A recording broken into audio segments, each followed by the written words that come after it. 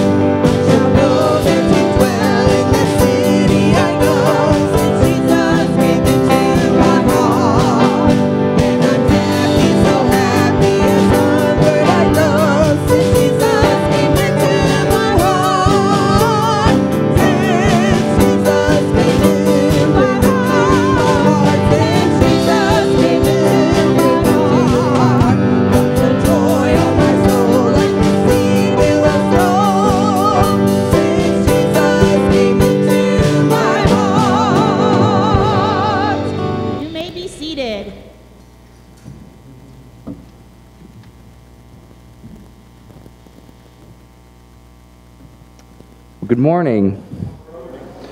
How's everybody doing today? Good? That's good. That's real good. We're so glad that you're here this morning. Uh, I have a couple things to inform you of. It's a joke first service. I'd have a couple announcements, and I went, "Oh right, I'm not supposed to say that. That's one of my things. Not like someone's like, you can't say announcement. They say don't use announcements. So we have inf- information for you here this morning. Um, we just wanted to recognize, too, that Wednesday is Veterans Day, and we're so thankful for all of those who have served in our forces, and um, we just want to recognize you guys that we're so appreciative of it. Um, uh, and uh, to think and be in prayers for veterans and for active military members, obviously every day, but Wednesday is the day that we recognize them as the, as United States. Um, and then we have uh, a need of a bed. We have a church member who has taken in a teenager, and um, they, they need a bed for this teenager. So if you have a spare bed or you know of somebody who has a spare bed who can lend it, um, we ask that you would get in contact with Melissa Patridge. Um, if you do not have the information for Melissa Patridge, please contact the office and we will help guide you to where you need to, who you need to get a hold of. Um, and then also, I wanted to make an announcement that I know I'm not supposed to use an announcement word. It just comes out, people. It just does. Uh, Saturday, this coming Saturday, November 14th, is the men's breakfast. And uh, men, so if you are free on Saturday at 9 a.m., please come join. They're going through the Ten Commandments. Okay, I think I got everything.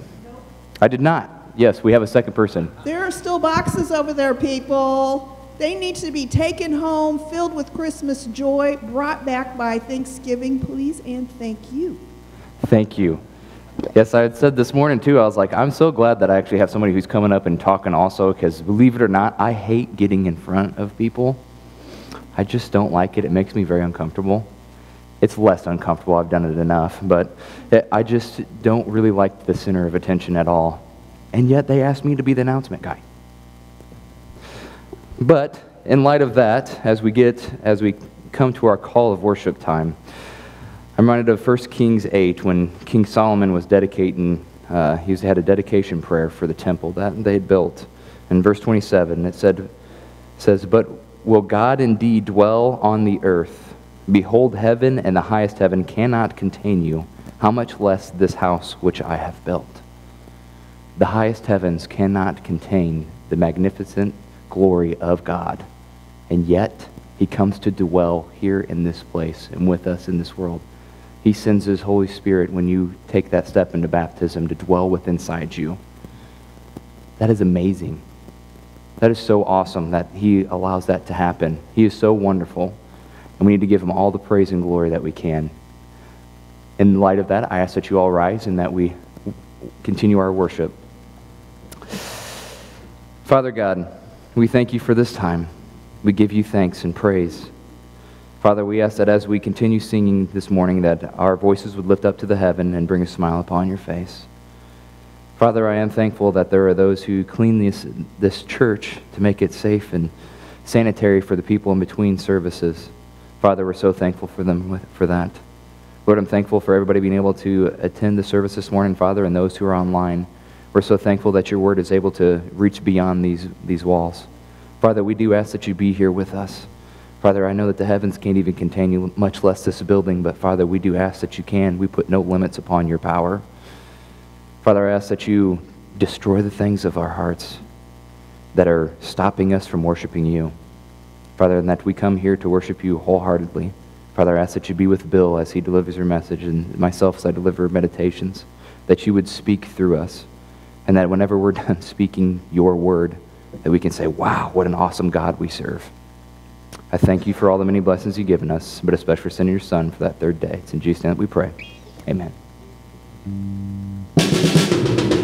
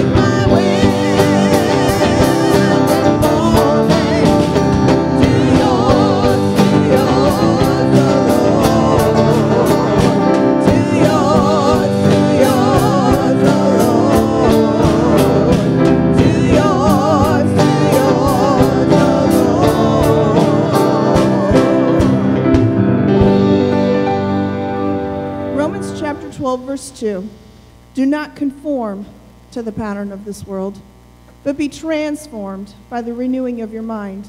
And then you will be able to test and approve what God's will is his good, pleasing, and perfect will.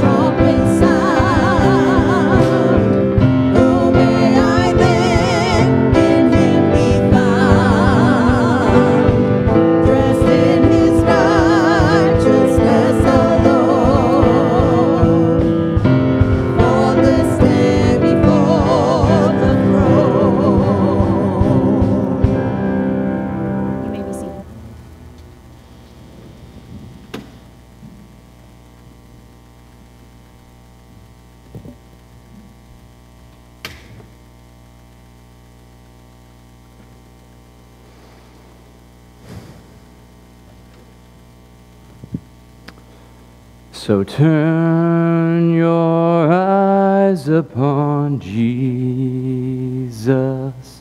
Look full in his wonderful face, and the things of earth will grow strangely dim in the light grace. I tell you, I love that song. It reminds me of Matthew, verse 6, well, chapter 6, verses 19 through 21. It says, Do not store up for yourselves treasures on earth where moth and rust destroy, and where thieves break in and steal. But store up for yourselves treasures in heaven where neither moth nor rust destroy, and where thieves do not break in or steal.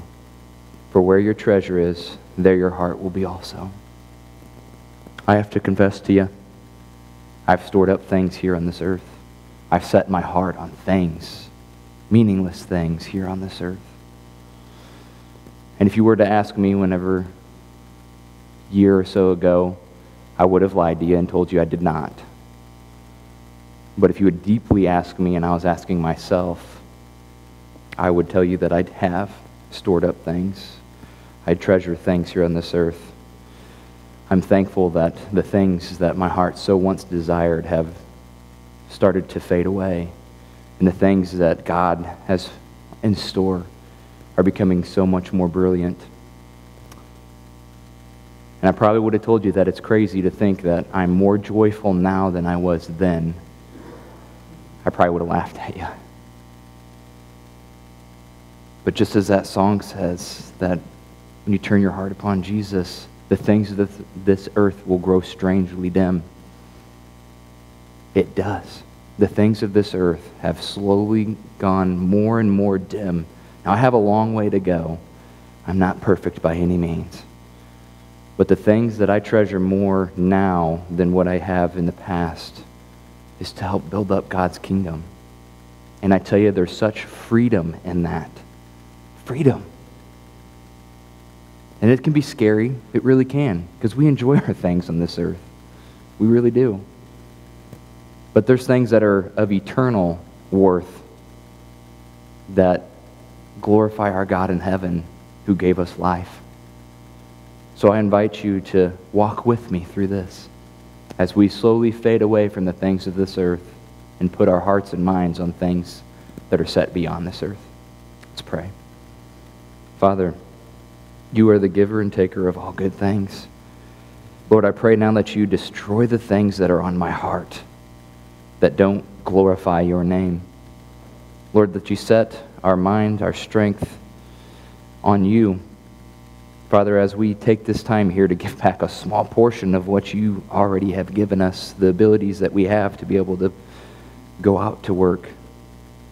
Father, that we glorify your name at this time, that we worship you, Father, and we store up things that are in heaven. And the things of this earth, they slowly fade away. Father, I ask you take the fears of that away from me you break that stronghold that I have that seemed like cement at times, that you just destroy it, that your word takes true to my heart, and that I can trust you more and more each and every day. Father, I thank you for the faithful people here at Creve Coeur, that they give to you faithfully, Father, that they give to you wholeheartedly, and that you help aid them in the freeness that I have felt. I thank you, God, for the wonderful sacrifice of Jesus most of all. It's in Jesus' name that we pray. Amen.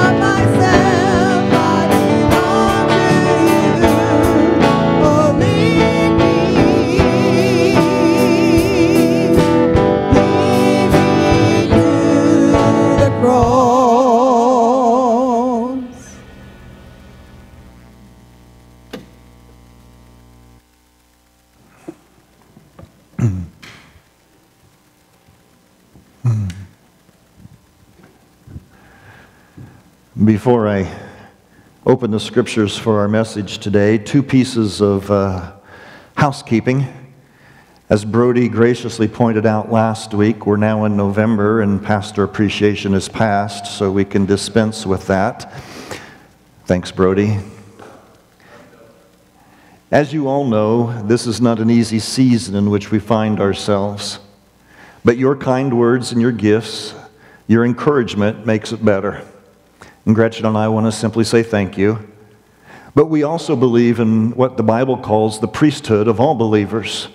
So if you are a Christian, you are a minister.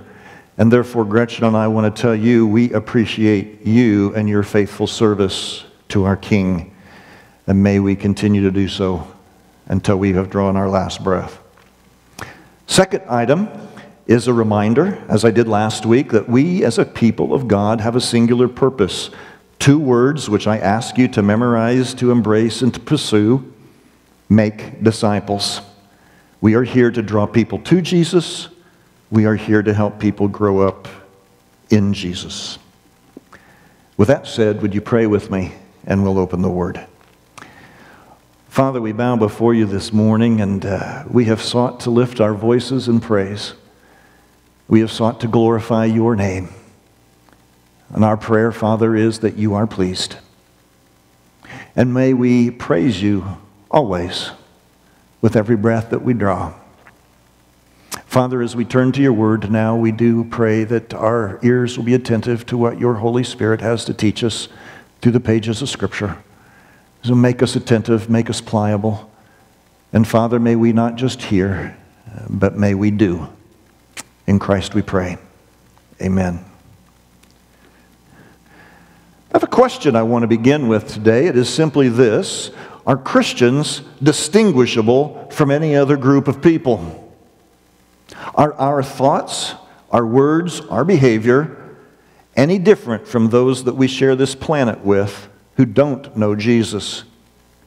If you were simply to take those of us gathered this morning and plop us down in the midst of the general population of Tazewell County with people who are members of a different kind of religion like Buddhism or Islam, or if you were to put us out there with people who are part of service organizations like the Rotary or the Kiwanis, if you just put us down in your neighborhood, would people know that we are Christians? We should be identifiable because we are called by Christ to be radically different from this world. Yet the question, question remains are we? I want to share with you from 1 Corinthians, from the book of Romans, and from 1 Peter this morning. If you follow along in your Bibles, we'll begin in 1 Corinthians chapter 6 with simply this idea, what I've titled my sermon, You Are Not What You Once Were. The New Testament has a number of what I call sin lists. The Apostle Paul's a master at this, though John does it as well. Just talks about the behaviors that characterize the people of the world, which includes you and I before Jesus entered into our lives.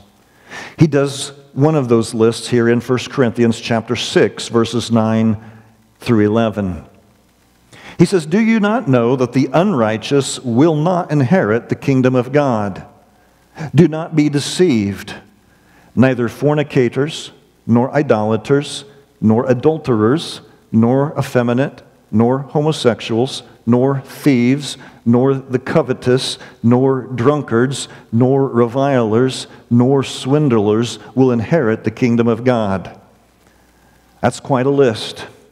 And if you were to read through the other list and you were honest with yourself, you would see your life in there apart from Jesus. Let's be honest. Let's agree with Scripture. All have sinned and fall short of the glory of God. And that includes me, and that includes you. The church in Corinth, they kind of found themselves between the proverbial rock and a hard place. We don't know how many people were a part of this church, but we do know that they lived in the midst of one of the most immoral cities of the ancient Roman Empire. The temple of Aphrodite was situated upon a hill just outside the city limits of Corinth.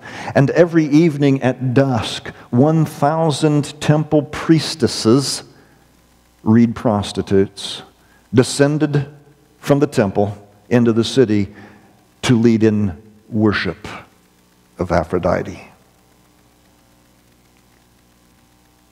The church struggled. How do you live as the light of the gospel in the midst of such worldly darkness? And yet, is it so much different from our day and age? Is our society so civilized and so moral that the church does not have to struggle with being the light in the darkness? You know better. It's not a whole lot different 2,000 years later. And the people who comprised the church in Corinth were people who had come out of that background. And interestingly enough, again, let's be honest, we who comprise the church in Creve Coeur are people who come out of a worldly background. And so we have to look also at verse 11. You may have noticed I, I skipped a verse, I stopped just short.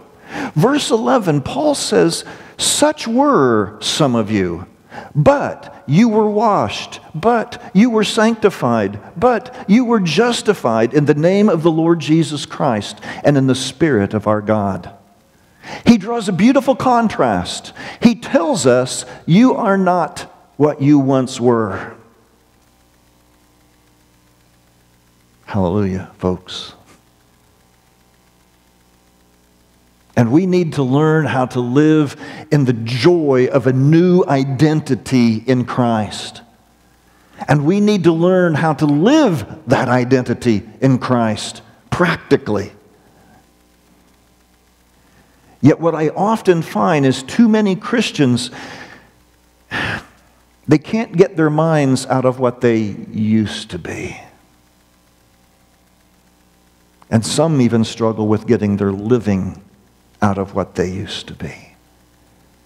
But notice it's past tense and present tense. Such were some of you. This is past. This is not your identity now. And then three phrases all begin with the little word but. And Paul makes a powerful point. He says, But you were washed. You were washed. You were made pure. The stain of sin removed. It's like Paul in Acts chapter 22, verse 16, where Ananias tells him, What are you waiting for, Paul? Get up and be baptized, washing away your sins. There is a cleansing that takes place. It does not matter where you have been, it does not matter what you have done. In Christ, it is washed away. Jesus, the great Redeemer. And Paul adds to that, you were sanctified. It, it means you were made holy and oftentimes we think of holiness in the sense of behavior. I'm obedient. And yes, that's a part of it, but the idea actually means that you have been set apart, you have been dedicated to service and loyalty to God. You may have once been worshippers of Aphrodite, but now you are worshippers of the God of Abraham, Isaac, and Jacob. You are worshippers of the God and Father of our Lord Jesus Christ.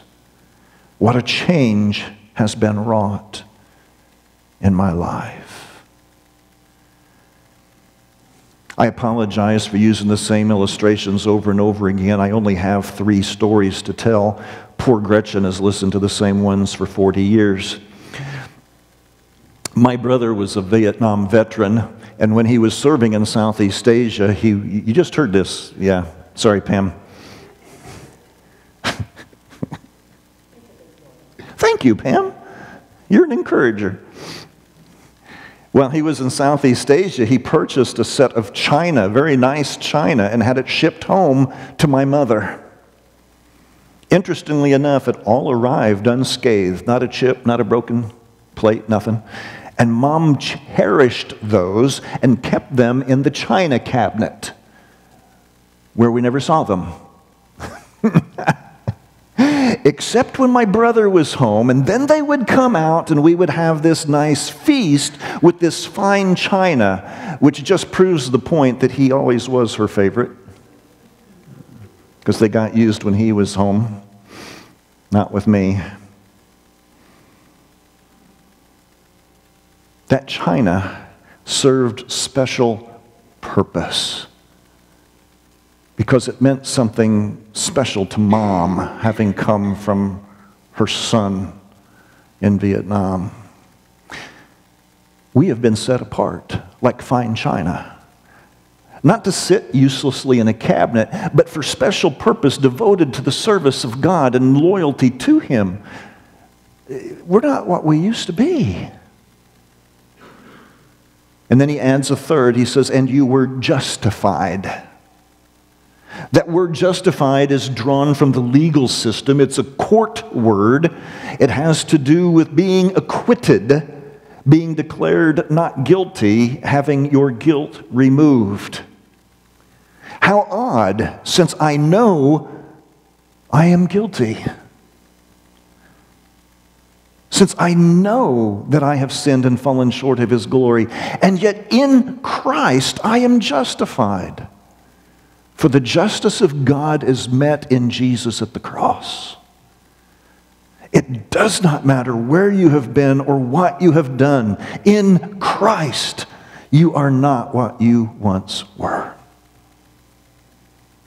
Let the burden and the shame and the guilt wash away. Now live the new identity that He gives you.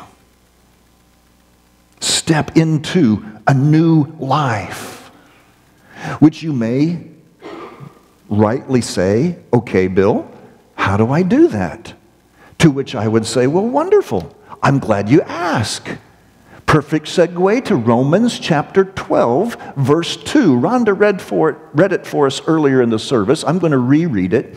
And it is the key verse, if you follow along in Core 52, the book by Mark Moore, that he focuses on in this week's reading.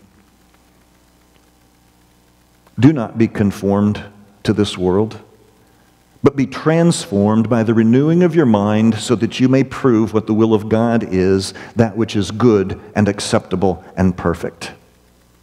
There is a transformation to be wrought. There is a change to be brought about. What I was is left behind, and what I am to be is being brought about.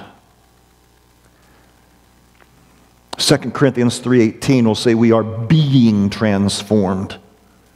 The Holy Spirit himself is working upon each follower of Jesus to bring about a restoration of the fullness of the image of Jesus in us.